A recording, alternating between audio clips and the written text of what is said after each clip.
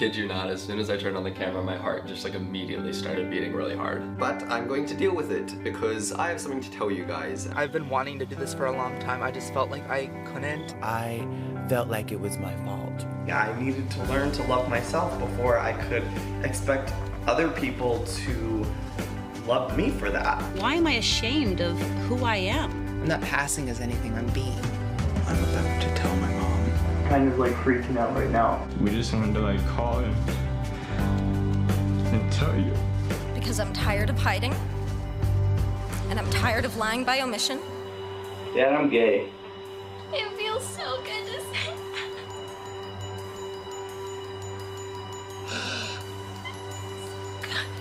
You still love me? I still love you, Mom. Nothing would stop me from loving you, my dear. I love you, kid. I Love you too. I felt nothing but support from the people around me. Why should they be denied the right to share their life together? You are voting for the first time in the history of our state to codify discrimination into our Constitution. I hope you will stand on the right side of history. My son is not an issue. He is a person just like you. It is time. It is time to give our loving gay and lesbian couples the right to a marriage license. Ayes 33, nays 29. It's the day I finally get to look at the man that I love and finally say, will you please marry me? Every single American deserves to be treated equally in the eyes of the law and in the eyes of our society. Do you promise to be a respectful and loving companion? I do. I do. I do. I do. You may now kiss the bride. The grooms may kiss.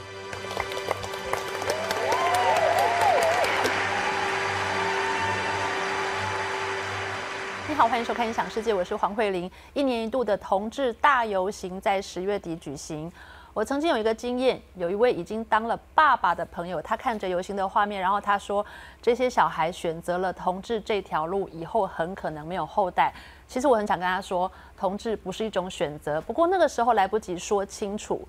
我们都理解，这个社会上有很多人对婚姻平权因为不了解而难以接受。我觉得异想世界很应该来促进一下社会的彼此了解。所以今天我们邀请哲学哲学鸡蛋糕的主持人朱家安，跟我们一起想想婚姻平权。家人你好，Hello 慧玲，Hello 大家。好，我刚刚说到那样的经验，其实我在我人生里面是一个，我后来不断的回想，我都想说，我那个时候为什么没有办法用很清楚的、简单的话告诉他。我的想法，感觉错过一个沟通的机会。对对，我觉得真的有社会上有很多人，他们是以一个模糊的，嗯，或者是很多人似是而非的说法，然后他们就不能接受同志或是同志婚姻这件事。所以我真的觉得我们来好好的一个一个提出社会上反对同志结婚的说法，然后请嘉安来跟我们说你是怎么想这些问题。好的，这个挑战其实还蛮大的。是啊。第一个问题，其实有很多的父母是这样想的啦。父母就会想说，同志当然不能结婚呐。以后我的小孩如果上学，他的同学的爸爸妈妈们，他的双亲是两个爸爸或是两个妈妈，嗯，是男男或女女，我要怎么教育我的小孩？一般人看到这一种我要怎么教小孩的顾虑的时候，有时候会有一种很直觉的反应，就是。你要怎么教小孩？那是那代表是你对于这个事情的表达力跟解释力的的多寡。对，如果你有你有办法跟小孩说明，你就有办法教嘛。对，那你如果没有办法跟小孩说明，就没办法教，这个是你的问题。为什么？其实问题是出在爸爸妈妈身上。就是爸妈没有办法尽好自己教育的责任。为什么这个这个后果需要让另外一群人去扛？对，这个是一种反应方式。嗯，但是我觉得在这个议题上。因为同性婚姻的议题牵涉到彼此截然不同的价值观，对，所以我们事实上有必要要对自己的对手更多的宽容跟理解。没错，其实，在很多时候，家长说你这样子，我不知道怎么教小孩。嗯，他的意思并不是说我不知道怎么教小孩，而是这个事情太不合常理了。你怎么可以让这种事情发生？对，这种像是。我不知道怎么教小孩。这种话，其实家长有时候会用在像是立法院打架，对，OK，就是厂商排黑心油，对，他们会说你这样子搞，我怎么教小孩？他意思不是说我无法跟小孩解释为什么是会这样子，而是社会不应该是这样子。是是，真正它背后的原因其实是这样子的心情。没错，所以以这种路径去理解，我们可以知道说，我要怎么教小孩，事实上只是一种说话的方式或是修辞借口。对，他背后想表达就是我的价值观没有办法理解为什么这种事情会发生。嗯，所以我觉得我们可以把怎么教小孩，事实上把它当成一个。沟通的起始点，是因为他其实是在告诉你说，彼此价值观差异蛮大的，嗯，所以在这个时候，我们应该进一步询问说，所以这个为什么会让你觉得很难教小孩？对，背后的症结在哪里？对，找到背后症结，找到差异点，我们才有机会进行妥协或是沟通。嗯，好，还有一种爸爸妈妈的说法，其实听起来会更合理一点点，但是我相信家人也可以很轻易的破解，叫做如果你的。父母双亲都是男生或都是女生，你的小孩是无法接受，呃，男生要有男生的样子，女生要有女生的样子，这样子的正常的所谓正常的教育。嗯，这样，如果你的双亲都是男生或都是女生，你的小孩其实无从寻找模范。其实很简单，他们认为说，男人有男人的样子，女人有女人的样子，各司其职。是。那我们知道，在现代多元社会。这种各司其职的价值观，它虽然给社会跟家庭教育一些呃很容易符合的规则跟范式，让这些结构容易运作，对，但是。它也引发很多悲剧，对，像是我们回想一下国小、国中，嗯，有些男生被叫做是娘娘腔，然后被欺负，其实是一种歧视，是，对，女生被叫做男人婆，然后被欺负，为什么？就是因为社会有这种男人有男人样子，女人有男女人样子的价值观，非常刻板印象的。这样子的女生特质，你只能从妈妈那边学到，是的，男性的特质只能从爸爸那边学到，这样子的刻板印象，对他们来说，不止小女生、小男生不一样，当爸爸、当妈妈。妈也不一样。对。那在在传统社会，这可能是大家都可以很容易 fit in 是的情况，但是有很多背后的悲剧，我们是看不到的。嗯。比方说，如果有有一天我们发现闽南人，闽南人像我这样子的人的自残比率跟依赖药物的比率比较高，我们会因此推动闽南人不应该结婚吗？是。同样的问题，你说同你说你从同性恋身上套到闽南人身上，就变得很奇怪。为什么很奇怪？因为阻止他们结婚根本就不是解决依药物依赖性的手段啊。对。前一阵子参加了我一个男生朋友的婚礼，嗯，那我必须要说，这个婚礼让我非常非常的感动。我的男生朋友跟他的男朋友结婚，当当然在台北是还没有合法化，但他就是一个给双方的仪式性的。对，那我必须要说，这个婚礼是我参加过最感人、最催泪的婚礼。那在这个场合上，我印象最深刻的是，他就感谢这个餐厅的主人，说他们在办这个同志婚礼之前，就跟餐厅主人说，呃，我们要订这个餐厅，那但是我要先告诉你，我们是要举办我们的婚礼。OK，跟餐厅沟通的时候，对，餐厅给了他一个非常温暖的回答，餐厅就说。世人都要爱，就欢迎来这边办。我们也觉得很荣幸，可以成为你们这这个很难得婚礼的见证。很开放的餐厅，对，非常好。我们在看电影、电视的时候，会有一个很感人的场景，就是结婚的现场，然后就呃神父、牧师主持婚礼，在上帝的见证之下，这一位新郎跟新娘等等等。嗯所以事实上，社会上有一种反对的声音是来自宗教的。是。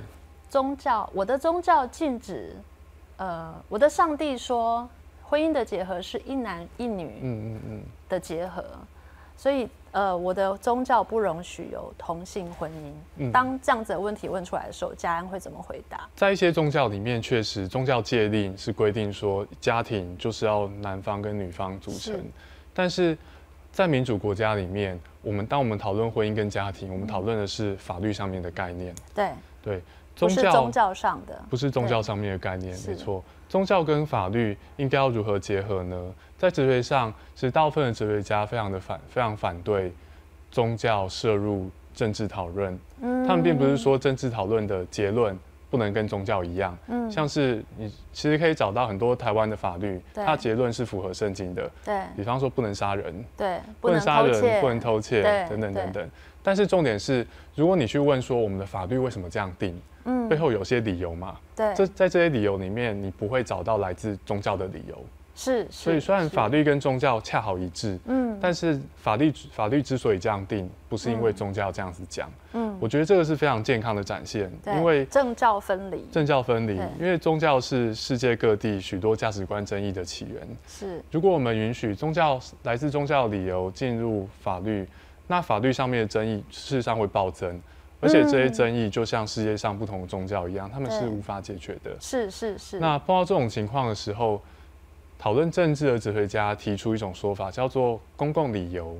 嗯，什么是公共理由呢？指的是那种我提出这个理由来主张某些法律的时候，这个理由是只要是市民，只要是公民，大多都有办法理解。而且同意的，对，因为这样子会减少犯罪，对，因为这样子可以增加人民的福祉，是，所以我要推行这个法律，而不是说因为上帝这样子讲，嗯嗯，这个是很很大部分所谓的异教徒对。没有办法同意的理由，它就不是公共理由，是，好，所以宗教不能够拿来指导我们的法律与我们的人生。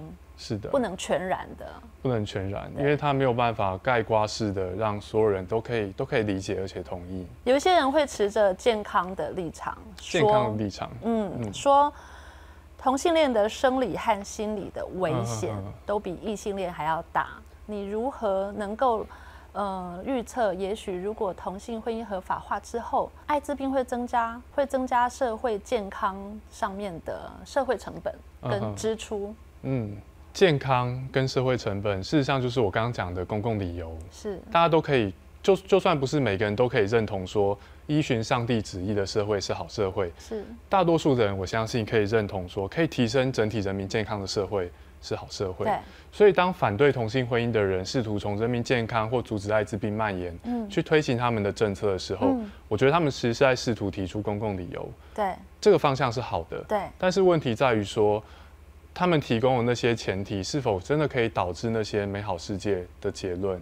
嗯，比方说他们会说，同性恋跟一般人有一些生理上面的差异，是，比方说艾滋病的离病率，对，当然这部分我们需要科学科学的科学观察才才有办法验证啊。他们讲的是不是事实？嗯，但是有一件事情我们可以注意，就是因果关系。对。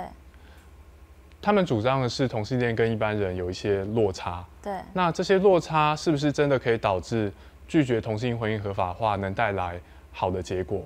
是我们可以检验的。比方说一个很简单的问题，艾滋病，它是异性恋也会染的，同性恋也会染的病。对。那但是我们不会因为异性恋会染上艾滋病就拒绝异性恋结婚。是。事实事实上，甚至有人会说，要怎么阻止？要怎么阻止艾滋病在一个是在一个社会蔓延呢？你就让这个社会有健全的家庭制度。结婚对于一般人来说是促使他们固定性伴侣的一种方式，对，所以反而可以减少艾滋病的蔓延。如果如果婚姻对减少艾滋病的蔓延对异性恋有效，为什么对同性恋没有效？是，这个是我们可以问的因果关系、政策跟解决问题的能力之间的判断。比方说，如果有有一天我们发现闽南人。闽南人像我这样子的人的自残比率跟依赖药物的比率比较高，嗯，我们会因此推动闽南人不应该结婚吗？是，同样的问题，你说同你说你从同性恋身上套到闽南人身上，就变得很奇怪。为什么很奇怪？因为阻止他们结婚根本就不是解决依药物依赖性的手段啊。对，要怎么解决药物依赖性？比方说动用一些社服上面的手段去帮助他们，嗯，等等等等的。嗯，从这里你可以发现。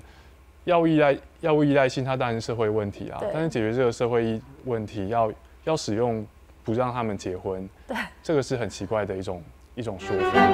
我号召一群异性恋朋友共同来联署，联署内容是说，在我的同性婚，在我的同性朋友可以跟他相爱的人结婚之前，嗯，我虽然是异性恋，我在台湾是有结婚权利的，但是我不结婚。对。回到我刚刚说我。在我的人生经验里面，曾经有一个爸爸这么忧虑的说：“如果这些孩子们当同性恋，他们是无法生下他们的后代的。”然后他就说：“不孝有三，无后为大。你不能有你的后代，你怎么对得起你们的祖先呢？”不孝有三，无后为大，就是以人人生而为人的责任之一是要传宗接代，是而同性恋可能在社会上就是比较无法。依据依照传统规则传宗接代的一群人，是，所以在这种情况底下，我们不应该以同性婚姻来鼓励他们。嗯面对这种说法，我觉得好几种分析的方案都可以派上用场。比方说，你去寻找它的前提，对它前提之一是传宗接代是生而为人的责任嘛？是，但是生而为人是不是真的有这个责任呢？嗯传宗接代是同个姓氏要传下去。嗯你去挖可能会觉得这个是蛮怪的说法，不见得所有人都可以同意。对，那再来，就算我们同意传宗接代，或者说延续子嗣、嗯延续人类社会的永恒发展，嗯是每个人都应该背负的责任。嗯同性婚姻合法化是不是会加剧我们去回避这个责任？我觉得是可以讨论的。嗯比方说，反对同性婚姻的人常常会说，同性他没有生殖能力嘛，就没办法养育子女，嗯所以对于社会永和发展是没有帮助的。嗯但是在这里，我们可以讨论什么叫做养育子女。嗯一种一种是说你生出来，然后你养他嘛。对那同性恋碍于他们的先天倾向，对他们可能没办法达到生小孩，是至少至少在现在的科技底下，是但是他们一样可以领养小孩，嗯而且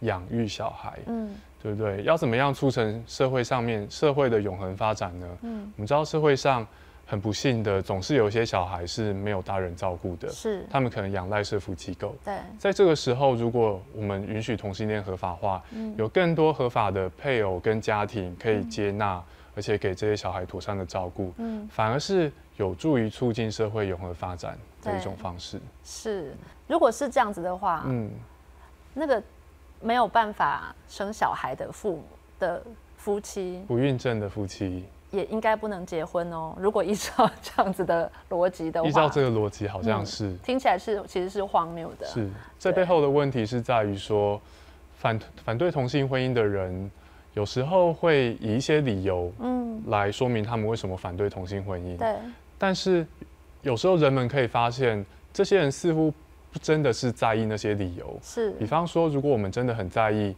一对合法的夫妻有没有？有没有办法生养小孩，对。如果我真的在意这个，对。我可能会加强制定一些促使夫妻生小孩的法律，是。或是加强制定一些不让那些不打算生小孩、没办法生小孩的夫妻嗯。不能结婚嗯的法律。嗯嗯但是反对同性婚姻的人并没有这样做，他们只要能阻止同性结婚，他们就很满足了。至于异性恋是不是生得出小孩，嗯。他们好像不是那么的在乎。所以在这种情况底下、啊，有些人会觉得，所以这些人很为善嘛，嗯。就是他们讲的好像很在乎社会永和发展是，但是是。他们对于社会永和发展的在乎，仅止于可以把这个说法拿来阻止同性婚姻。嗯。但是我觉得在这种情况下，我们一样可以从前面的公共理由来谈，对就是他们纵使他们是出于反对同性婚姻的立场，对。来提出我们应该让社会永恒发展嗯。的这个说法，嗯。但是在衡量这个说法的时候，它其实是给我们一个灵感，去讨论说社会永恒发展是不是这么重要？是。那同性婚姻以及其他的婚姻制度，针对这个重要的结果有些什么样子的影响？嗯。我觉得我们面对这样子处境的方法，依然是继续想这个问题，对。然后把这些因果关系给想清楚，然后促进更深的讨论。我就觉得大家应该随身带着一个 随身型的朱家安，面对这些问题的时候，好好把它想清楚。那当然也有一些令人感到很振奋的事情。今年美国大法官通过了，嗯美国五十个州都成立同志婚姻是合法的。嗯，那一天非常振奋的是，早上醒来，脸书一打开，你看到白宫变成对七彩的白宫，然后很多朋友们也纷纷把自己的脸书的大头贴改成了七彩的版本。嗯我知道朱家安好像你也发起了一个活动，对不对？是来告诉我一下，你的你的活动还蛮有趣的。我在去年在脸书上面发起了一个异性恋不结婚的活动，嗯活动宗旨是这样子的：嗯现况下台湾同性婚姻没有合法化，嗯。所以如果你有同志朋友，他是没有办法跟他相爱的人结婚的。是。所以我号召一群异性恋朋友共同来联署，联署内容是说，在我的同性婚，在我的同性朋友可以跟他相爱的人结婚之前，嗯。我虽然是异性恋，我在台湾是有结婚权利的，但是我不结婚。对。我觉得这个联署有趣的地方是在于说，它不但是给呃同性恋朋友一些鼓励，嗯。而且借由签那个我不结婚的联署，他让异性恋朋友有那个机会去深刻的思考，说我真的签这个我以后不能结婚是。的契约，嗯。你会去想到不能结婚对于你生而为人，你的人生计划上面的意义。对，我相信，虽然我的朋友很多是支持同性婚姻合法化的，是，但是人身为异性恋，对，难免身为既得利益者，对，我们可能不会去想到不能结婚是件多么可怕的事情。是，我希望这个联署活动让更多的异性恋去想这件事情，对，然后让大家可以更切身处地的去理解嗯同性恋朋友们的处境。嗯，所以嘉安这个联署现在有多少人呢？现在大概五百多个联署，对，联署方法其实没有很正式，嗯就是分享，对，然后富在脸书上，分享。对，对于一个我已经结婚的人来说，我要怎么加入这个行列呢？你可以联署说，在同性婚姻合法化之前呢，我不再度结婚。相信老公也会觉得很开心。我之前曾经看过一个广告，嗯那个广告就是有一个男生挨家挨户去敲别人家的门，陌生人家的门，问他说：“请问你愿意把朱家安的下半辈子托付给我吗？”每一个人都说愿意，愿意，愿意。遛狗的人问他：“你愿意把朱家安的下半辈子纵使不知道朱家安是谁，对都不重要，他就嗯问了每一个人，遛狗的人、散步的人、在公园晒太阳的人。嗯然后其实这个广告是要说，为什么他的结婚要经过全国人的同意这是一个反讽，是，它是一个反讽。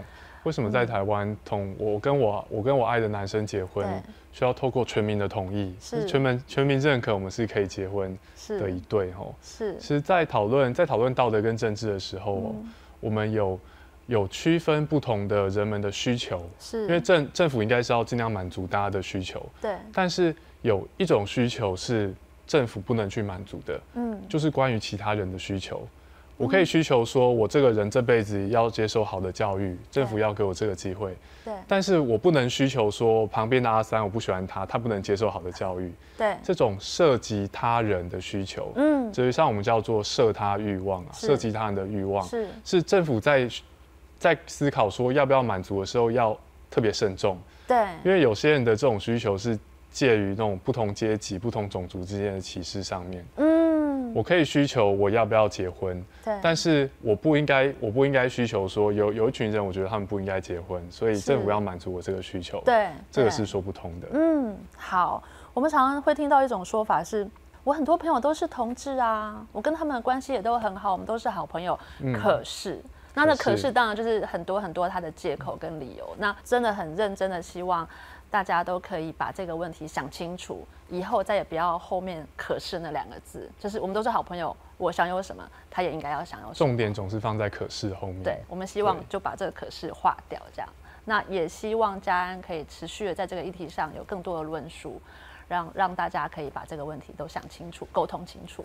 加油！加油，加油，加油！谢谢嘉安，谢谢，谢谢慧玲。